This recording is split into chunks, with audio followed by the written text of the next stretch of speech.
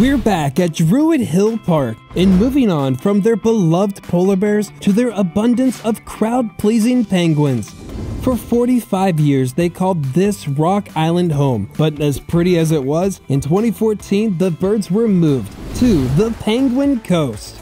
You don't always hear a zoo making a huge deal over a new flightless bird exhibit, but this goes far beyond the hype. At over 15,000 square feet, they say it's the largest outdoor penguin facility in the country. The birds can completely circle the island. That's designed to mimic a South African fishing hut, and you can do the same out here and in the education center where there you'll learn about the world's other penguins, their environment and predators, and you can sit down or try to get their attention at the underwater view. But here's what really sets this apart from other penguin havens. In the same building, you can stand under a dump tank that drops 1,000 gallons over your head before falling into a tidal pool that rushes into the other 184,000 gallons of fresh water to create waves for the birds which are several white-breasted cormorants, pink-backed pelicans, and the coast opened with about 70 African penguins.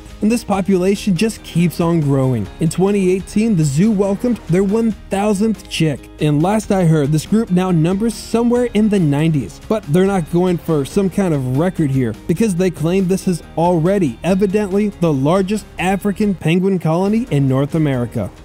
After all that, you probably won't be surprised when I say this is the greatest of its kind I've ever seen. $11 million well spent, and clearly someone at the AZA must have thought so too. Because the Penguin Coast received the top honors Best Exhibit Award for being a dynamic, immersive habitat that provides the best in animal care and public education. And that wraps things up here. Next time you hear from me, we'll be taking a look at what I call this area's sister exhibit.